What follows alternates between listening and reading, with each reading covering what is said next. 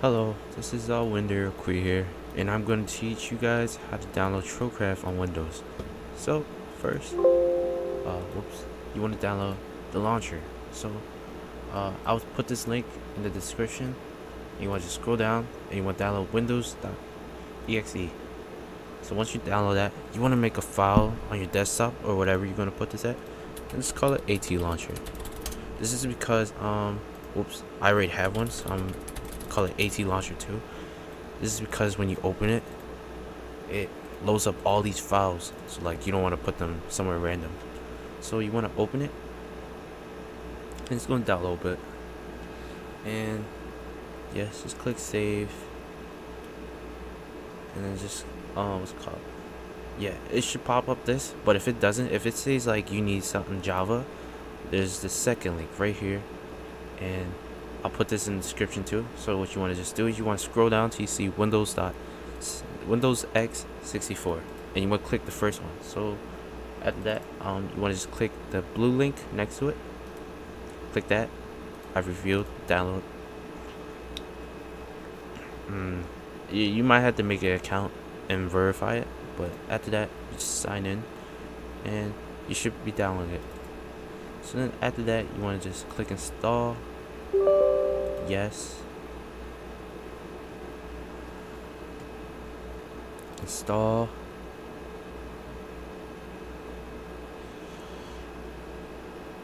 I already have this so I don't know why I'm installing it. But yeah you want to just follow that process installing it if I can close it. Okay so not now just exit out yep so after that when you install that load up AT launcher and Trollcraft well accounts you want to go to your accounts first because you guys select your accounts. And I'm gonna put my thing in real quick. But I'm gonna cut it out. Okay so once you do that once you put in your logins you want to just click add. Successfully added and now it's just switch over. And what you want to do next is I'm gonna delete that because I already have the AT launcher. I'm gonna open up the original one. One second. Sorry about that, guys. Just let it load up real quick.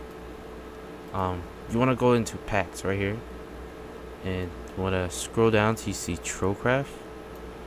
Click New Instance. Make sure it's on 1.17, 1.7.10. Install. Make sure to allocate uh, 4 gigabytes of RAM um, this is optional. I download it because uh, single player it loads in the actual Trollcraft map, but you don't have to install that. So then after that, just click install and just let it load real quick. Okay, uh, after installed, it should show this up has been installed. And what you want to do next is you want to go to your settings, Java.Minecraft, and this will originally say like 1024 but you want to change that to 4 you want to have it at 4 gigabytes of RAM. And after that you want to go into instances right here click play and you're good to go. It should load up. Now you just want to wait for it to load.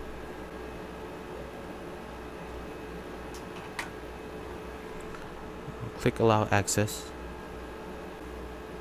Okay I cut it off a little bit because it's kind of waiting but if you're at 7 to 7 Congratulations, you're almost there. Now we just wait a little bit.